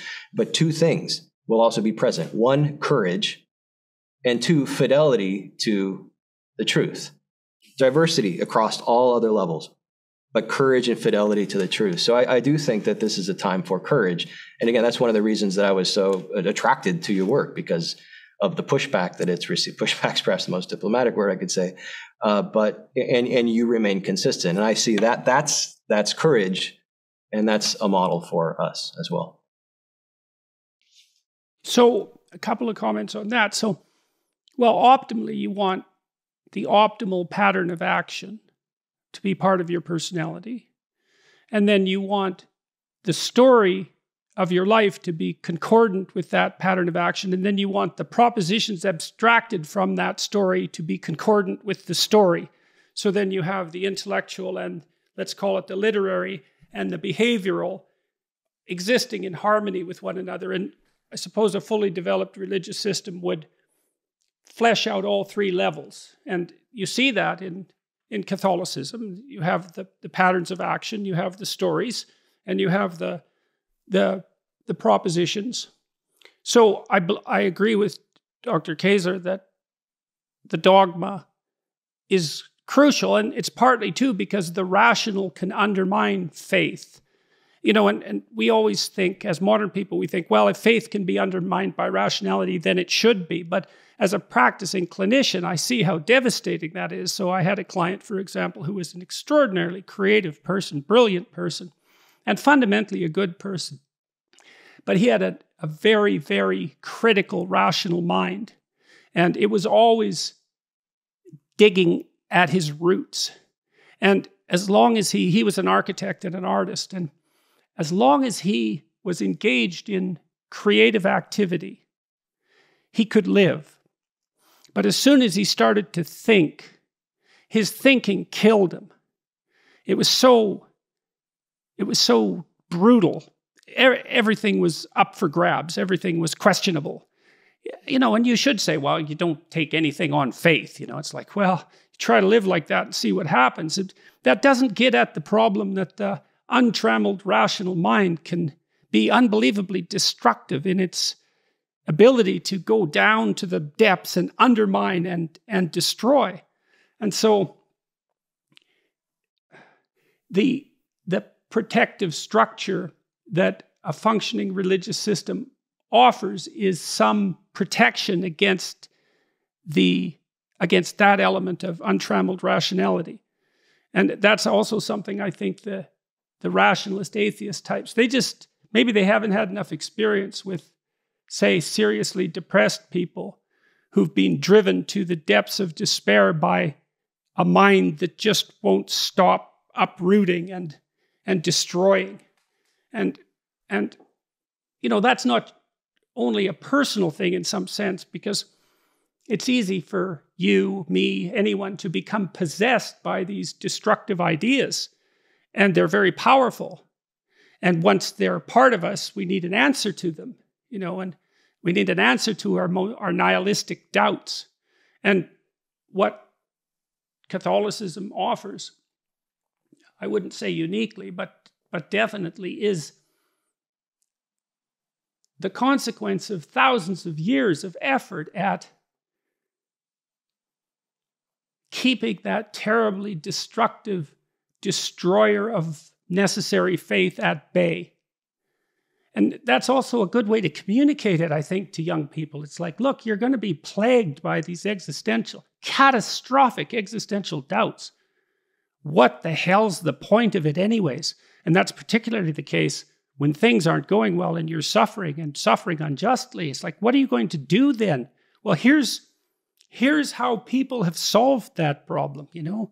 It's possible that we're akin to deity in some sense, that there's something transcendently important about consciousness, that you play a crucial role in the structure of existence. It's like no one can say that for certain, you know, because what the hell do we know? But it's the best we've been able to manage in terms of what was it Milton wasn't, didn't Milton write Paradise Lost to justify the way of God, the ways of God to man? Mm-hmm. It's a hell of an ambition. In some sense, that's what this entire religious endeavor does, the literary endeavor as well. What's the point of all this? What's the meaning of this? And, you know, when you think about that in too, too propositionally, and this, I also saw this in my therapy practice. It's like, well, what's the meaning of life? And I could easily get off on a nihilistic argument with some of my more intelligent clients. They had a rejoinder for every proposition about why life was valuable. But then if you said to them, don't be so sure that that part of you is your friend. Look what it's doing to you. It's so destructive. And it has all of its self justifying arguments, and they might even be coherent but look at the consequences and then contrast that with your own experience. Like, when does that sense of nihilistic despair disappear? You know, for some people, it's when they're with people they love, they're with friends or family. Some people find it in creative activity, some people find it in charity. There are various sources of meaning, and that's not propositional you see it in your own life, right? You can literally in therapy, you have people track that. It's like, well, you're nihilistically depressed. Let's let's watch your life for a week and see how that ebbs and flows with what you're doing. And then see if we can get you participating more in what makes it ebb than what makes it flow. And that's empirical in a sense, right? I'm not asking you to believe something. I'm asking you to watch the structure of your own reality to see where meaning manifests itself. And then you could say, in some sense, the sum total of where meaning manifests itself, that's where God resides. And that relationship with God that you described as, as the, what would you say, as that, that has to be maintained by our good behavior. I suppose that's that desire to live in that space of meaning. And then you can propositionalize that. You can say, well, that's associated with love and it's associated with courage. It's associated with these classical virtues. And it's not these things that we've learned to deem as evil. And that's, that's where you, is that, is it reasonable to say that that's where you find God if you're searching? Is that the, is that an appropriate way of looking at it? I think so. I, I met a guy one time who told me he went to a lecture and the lecture was on God's existence, and the guy who was lecturing. And then after the lecture, my friend came up to him and said, uh, "You know, everything you say is a bunch of malarkey. There's no God. It's just your lecture is just meaningless." And the guy said, "Okay, um, what I want you to do is for the next week, I want you to treat everyone that you meet as if they were Jesus in disguise." Mm-hmm. And right, the guy left the lecture and he went home and, you know, he gets home and, you know, mom's there doing the dishes and he thought to himself, well, if this were Jesus in disguise doing the dishes, I'd probably go up and like help my mom do the dishes. And then dad came home from work and rather than ignore him, he said, Hey dad, how was, how was work? How's everything going? And, you know, because if that were really Jesus in disguise, I would do that. And then they're eating dinner together with the family and there's one hamburger left. And he turns to his brother and says, Hey, why, why don't you have this? And the guy told me his life was completely mm-hmm. transformed mm-hmm, mm-hmm. by literally one week mm-hmm. of acting in this sort of way. And mm. that's not really surprising. Uh, Pope Benedict talked about this in one of his encyclicals that one way to God is to act in this sort of way, to act as mm-hmm. if God as if. exists. Right, right. To act as if other people are Jesus in disguise. And, you know, Mother Teresa talked about that too, that in, for her, the poor and the leper and the destitute were all Jesus in disguise. And so she served them as if they were Jesus. And so that is one way, it seems to me, to move towards God. I don't think it's the only way, though. And the reason is that uh, I know a philosopher, Alasdair MacIntyre, who mentioned to us in class one day that he was an atheist until he carefully studied the arguments for God's existence. So there are at least some people, at least one person, Alasdair MacIntyre, who really did come to God through that way. But I think the more common way is through lived practice, lived action. Yeah, you, you brought up the, the case of, of severe depression, and um, you know, it, it is the case, of course, that you can make eh, profoundly coherent arguments of for why your life is meaningless and why meaning there is just a, a vast nullity to all existence. But the question isn't are they coherent? The question is are they true? The question is are the premises right? Because anything can be coherent within false premises. The question is, are, is it the case that your life is worth nothing? And the answer has to be no. That's a false statement. It's a false apprehension of reality. Well, look what happens if you act that out. Of course. But even then you could say, well, no, I'd be doing a sum if within within the, the grips of depression, you'd still be thinking that I am acting according to a good, given the premises that I have about the meaninglessness of my own life and, and of all life. So I think the foundation, which keeps going back to the same question, the foundation of truth must be there. But then the next thing to say is not that you are wrong about your life being meaningless. That's a false statement, but that you're also loved. You are loved. And it's, I think that's the kind of thing, at least my own experience, that can take you out of the darkness. That your life is not about you and your own thoughts. It's not about you and the systems that you are building. Ultimately, you are in response to something much greater than you. And that thing that's greater than you is looking at you and calling you out and saying, I love you. So it's not, it's not an either or. It's not, well, what's true propositionally about the nature of existence and is there a soul? It's, it is that and I am calling you, which is a universal call for us as Catholics. This exercise that you described, Dr. Kaczor, I believe that when we see other people,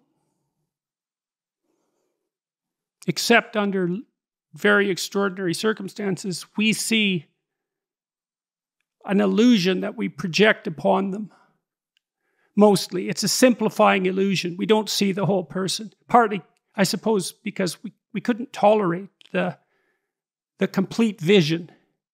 It would be too much for us, you know. So our doors of perception are three quarters closed, and exactly why that is isn't obvious. But I do believe that the more accurately you perceive a person, the more you perceive them in the manner that you described.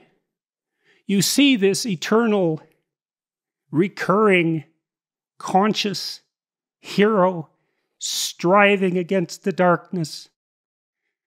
It's and when you treat people like that, of course they're what compelled by that. It's a compelling way to be interacted with. Although I don't know what it is, is that maybe it's not obvious how much of that you can tolerate, which is a very strange thing, too. You know, uh, I'm thinking about this. Most of what we perceive is our memory. And sometimes that is stripped away and we see what's there, but seeing what's there is awe, awe-inspiring. It's, it's, it's gripping and, and it instills terror. And I think that's the same as the burning bush. And in some sense, everything is a burning bush. But you're blinded to it. The you you see what's there i think when you really love someone a child. You really see that in a child if you if you're a parent right? You, you see you, you don't see a generic baby you see that actual person. So that memory that pushes generic baby into your field of vision dissipates and you see what's actually there and that love drives that. I imagine it does that. It, it love seems to like I always thought when people fall in love with one another, they see the perfection that could conceivably exist. It's like the curtains of, of illusion pull apart momentarily, and you see the paradisal state that could be there hypothetically if everything was done properly. And that drives the love. And then maybe if you work across time, you can achieve that to some degree. You know, because other people think about themselves as deluded when they're in love, and that's a very cynical way of looking at it. It certainly doesn't apply to the love between a parent and a child. Yeah, I, I think I think you're right. I mean, I know in my own life, um, having children has been such an unbelievably enriching experience, and I think about, um, you know, especially when kids are little and they're asleep. You go in there and they're just sleeping, and you see their little chest moving up and down. There's something painfully beautiful about that. I mean, you just wish it could go on just indefinitely. And for me, that is something that taught me something about about God's love, right? If God really is God the Father, well, then you know we that's sort of how He looks at us, and He sees the good, He sees the effort, and of course there's imperfections too. But I don't know. For me, having children is a kind of I try to sometimes tell my students, most of whom don't have kids, what it's like. And it's very hard to describe. So the best way I came up with was, well, remember when you were a little child, you know, like six, and you thought, um, oh, boys have cooties, girls have cooties, and the idea of romance or kissing someone is just repulsive. And then, you know, you could imagine trying to explain to a six year old, look, at some point you're going to look at someone else and just find this person unbelievably captivating, and you're going to want to kiss them. And you can say the words, but a little kid's been like, oh, no way, that that's hard to describe. And and I think becoming a parent is similar to that in that, yeah, it seems to me that it is so enriching that uh, and has given so much, at least to my life, and including calling out something for me that would have never been elicited. Because there's kind of sacrifices that you'll do for a kid that you'll never do for you know an adult. So that that's interesting. That ties in with this this idea that you brought forward of treating everybody as if they were manifestation of Christ. You see that meaningful fragility in your children and it's beautiful and maybe if you're if you've been warped and hurt you get resentful about it and and jealous of it and that can lead to all sorts of terrible things. But to the degree that you can that you're privileged to see that that calls you to be a better person. And you can think of that you know biologically. Well you have these fragile creatures that you're responsible for, of course, that's going to call you to a higher mode of action because otherwise they're not going to live, you know. So it's it's very practical. But so then, but what you see there is if that if you view someone with love, then it's incumbent upon you to treat them as if they're valuable. And then the more you treat other people as if they're valuable, the better person you are. That just comes along for the ride in some sense. So none of that seems questionable to me. That that seems solid. And so then maybe the more the more love you view other people with, the higher the moral demand that's placed on you. And then I would say too, well then that's another reason why it's so important to be truthful and and in some sense to be good because it isn't obvious to me that you can withstand that moral load if you're compromised by too much sin. It's too much. And, and that's another thing that, that we're not very good at teaching young people about. You know, you shouldn't do that. You know, it's like there's a sanctimonious authority that goes along with that that's the wrong tone. It's more like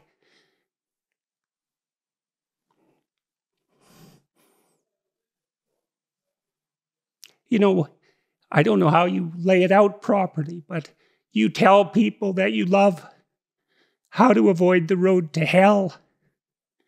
And you don't do that because you're shaking your finger at them or because you're a moral authority. You do it because you don't want them to burn. And I think there's too much of the moral authority still in the church and not enough of the you know, the love that helps people avoid the fire. I, th- I think that what you just beautifully described is the the unity of the love commandment that you you love your you love God with all your heart and all your soul and all your mind, and you love your neighbor as yourself. Mm-hmm. The love mm-hmm. the love of God identifies the pattern and then that interplay between the love of the neighbor and the love of the self they're they're inextric they're they're differentiated but inextricably uh, intertwined and right. so to to love the neighbor is to see the neighbor as he or she actually is mm-hmm. and to respond to the actuality not to your desires not to what you want this person to be in a utilitarian or instrumental sense but to the reality of that eternal soul right there and in and right. through that then you see who you are and that's a commentary on the Ten Commandments, right? That's Christ's summation of the Ten Commandments. So that's another eh, eh, another illustration of that abstraction. Proper behavior, the story on top of that, the propositions, that would be the Ten Commandments, let's say. So then Christ is challenged on the Ten Commandments, something like rank order these if you're so wise. Yeah. Right? Right, exactly. Because you're going to say something heretical Mm-hmm. And yeah. Christ does this unbelievable sleight of mind and, and extracts out two superordinate principles. And it, it's done in such a compelling way that the interlocutor, who's basically a prosecutorial mind, like an, an inquisitionist in some sense, is reduced to silence. That's, that's a very powerful story. It's one of those stories you read that, you think, it's not obvious how someone could have made that up. There's a lot of genius. There's an immense well of moral genius in that story. And the idea that that's some sort of casual, false construct, you know, produced for the purposes of power. It's like, well, you try to write a story that short that that's that is that wise. See how far mm-hmm. you get with it. So yeah, and those those stories are all over the Gospels. I mean, think about the story where the uh, woman is caught in adultery, And they say to Jesus, Well, you know, the law says we should stone her to death. You know, what do you say? And they're trying to trap him, of course, because if he says, Well, don't stone her to death, then they say, Well, you're against Moses, huh? You're a religious heretic. And then if he says, Go ahead and throw the stones, then he's going against his message of mercy. But Jesus, of course, says very famously, Let whoever has the first sin cast the first, or whoever has no sin cast the first stone. And, you know, everyone has to drop their stones and go away. Yeah. And then he says to her, of course, go and sin no more. So that, that kind of story, you think, mm-hmm. yeah, you'd have to have quite an imagination, be a kind of literary genius to come up with this. And I think it's important in part because Christ combines both, right? That is to say, we have the command, and the commandment, say, uh, not to commit adultery, is there for a reason. I'm sure you know from your clinical practice that you know that can cause unbelievable problems, you know, for couples and families. Uh, but he also has the mercy. So Jesus combines the the high commands of justice and with this high mercy, and in a way, that's what the church is seeking to do. Now, always imperfectly because we're imperfect, but but both need to be there. There needs to be the uh, moral, uh, the high moral calling, but also the great mercy, both because I think one without the other is going to be unbalanced. And and the, the, high moral calling again is for our own good. The the law is a form of grace. This this is how we flourish. This is how we become happy. Now, of course, we fail, which brings in the mercy component. But that's another terrible misconstrual of religion broadly and specifically Christianity and Catholicism is that somehow these rules were were premised on on control or power as, as their motivating reason for coming mm-hmm, into existence. Mm-hmm, it's mm-hmm. the exact opposite. Mm-hmm. It's to liberate. It's to liberate us from ourselves. I guess it's the other thing that that seems to have worked in my lectures is like a lot of this a lot of the work I've done was motivated by my attempts, I suppose, to understand hell. And then more than that, like how is it that you become an active contributor to hell? And you might say, well, hell isn't real.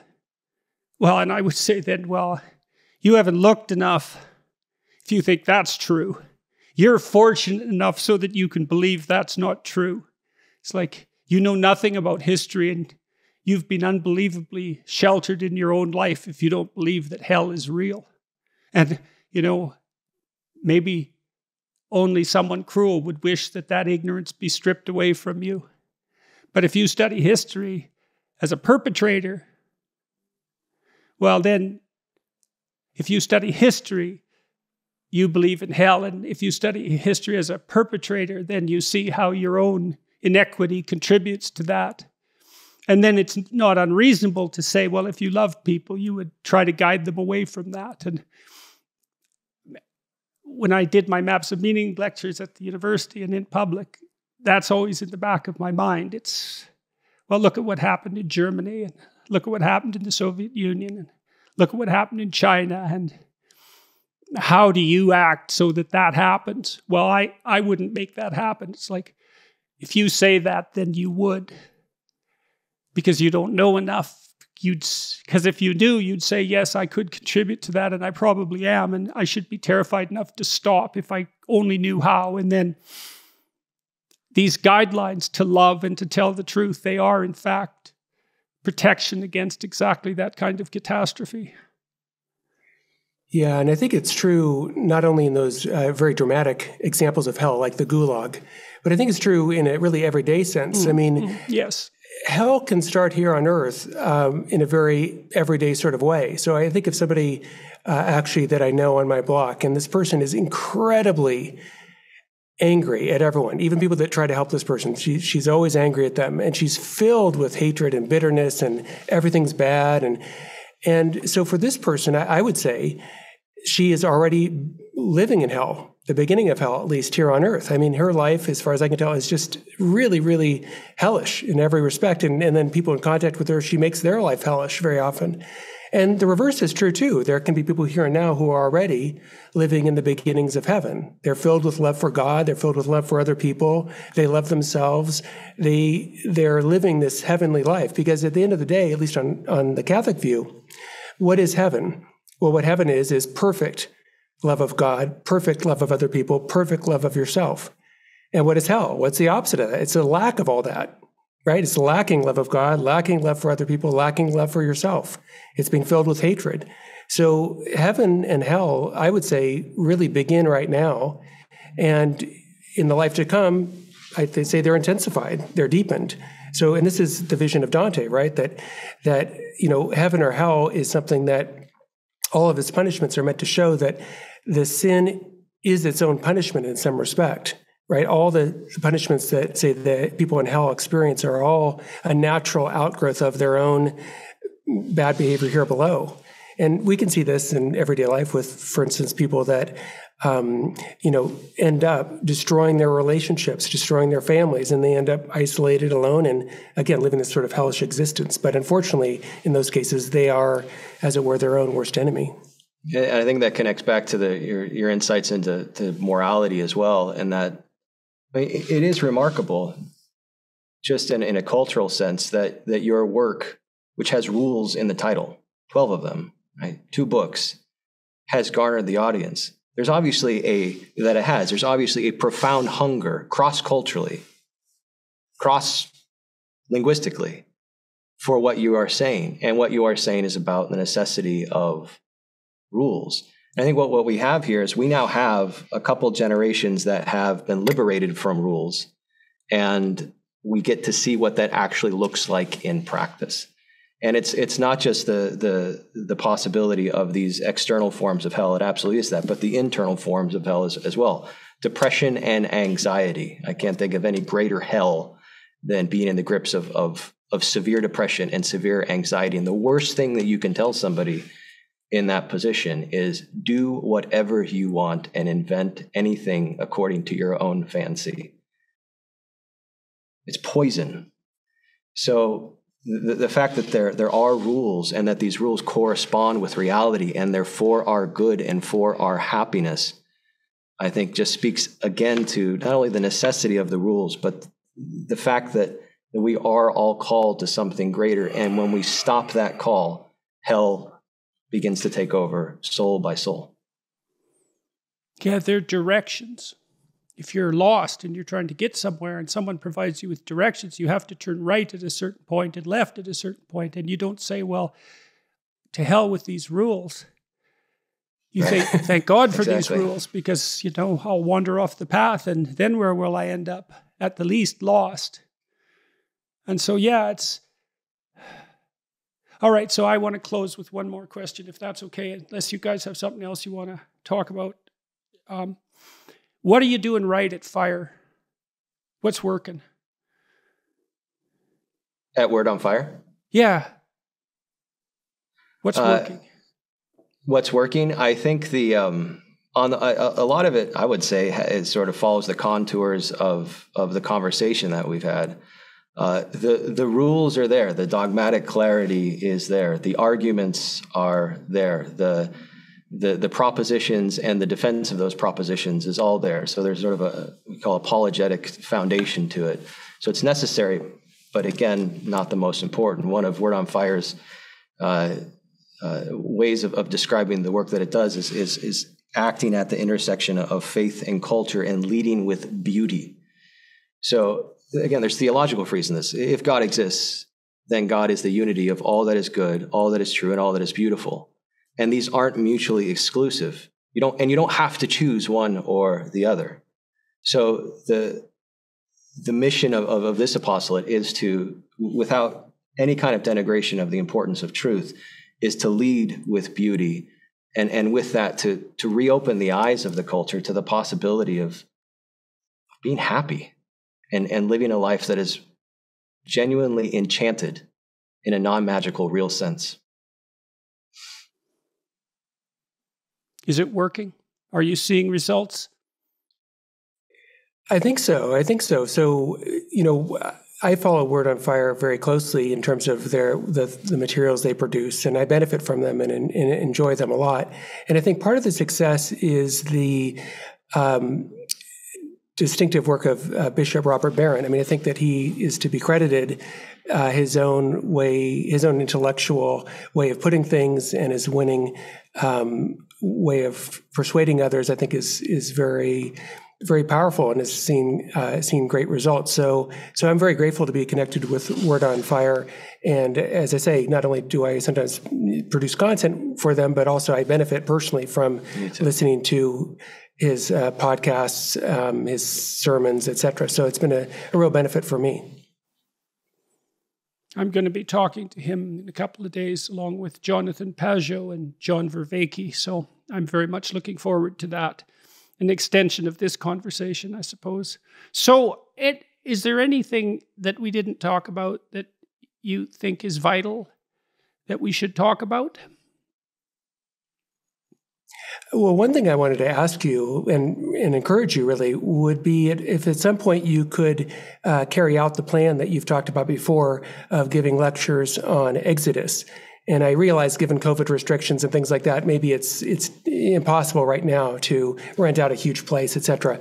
But I wonder if you could even just do it via uh, video, right? That you, you know, or even to a very small group. Uh, I, I think that your lectures on Genesis were such a huge benefit for literally millions of people. And I think that lecturing on Exodus, which in some ways is an even more gripping story, I mean, it's, it's very dramatic. Uh, I think that could be an enormous benefit to many, many people. So anyway, I just want to, was wondering if you were uh, planning on doing that, or if you'd be willing, maybe given COVID and restrictions, maybe to do it in a different format, slightly different than you did before.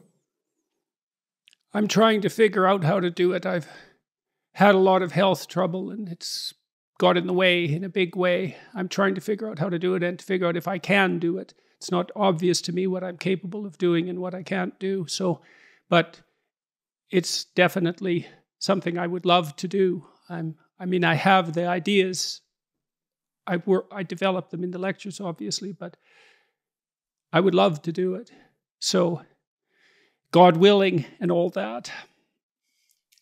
I, I, w- I would just end with a, really a, a, a statement, I suppose, is, I, and I'm sure you already know this, but there are many, many believers like ourselves who who are who are praying for you and who are so grateful for the work that you are doing, whatever your personal beliefs are and however you work that out.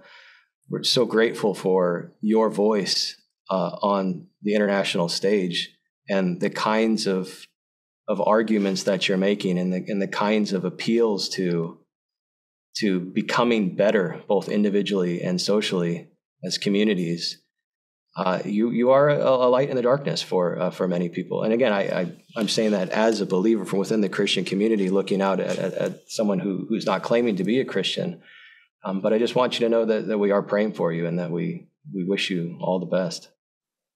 It's very much appreciated. Very much appreciated. So I hope that I can. I really hope that I can do these Exodus lectures. That would be something.